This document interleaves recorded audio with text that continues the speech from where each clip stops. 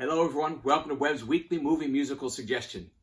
Are pajamas the most comfortable thing? I think that's going to be the thing I miss the most about being in quarantine is be able to wear my pajamas or my sweats all day long. In fact, most of us have probably worn our pajamas and sweats more during the day than we ever did at night to actually sleep in them. Pajamas have actually become the mullet of quarantine. I'll show you.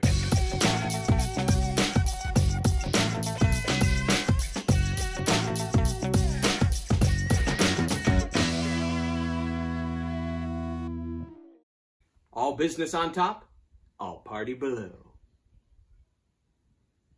Now, if you think that just pajamas things are fun, it actually is in reference to our musical suggestion this week.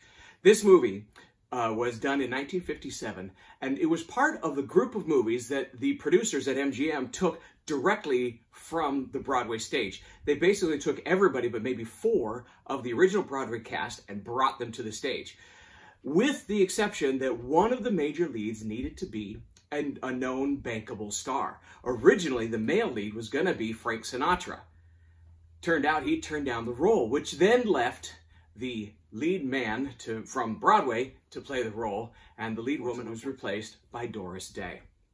Now, the lead man in this production is actually one of my I almost met him, talked to him celebrity stories. I, I was at an event uh, an awards event when I was first starting out my acting career in Southern California. And we were at the dinner table ready for the event to start. And one of the producers and directors of the show I was in leaned over and said, Look who that is. And I turned around, sitting right behind me was John Raitt. Now, I had grown up listening to John Raitt's voice, admiring the instrument that he had. And I sat there, turned around, and realized I was sitting back to back with John Raitt. I don't think I remember anything else from that evening other than the fact I just sat there stunned that I was sitting there. I never got up the nerve to talk to him.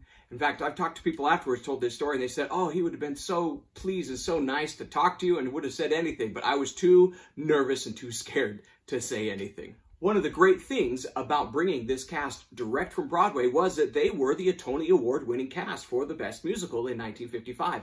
And Doris Day, in her own journal, actually talks about how she felt out of place with this cast that had done over a thousand performances with each other. And she, until later in the process, where she started to feel comfortable with everyone. The movie this week is Pajama Game. Pajama Game is available on Amazon Prime to rent uh, is also available on Daily Motion for free with ads. Enjoy.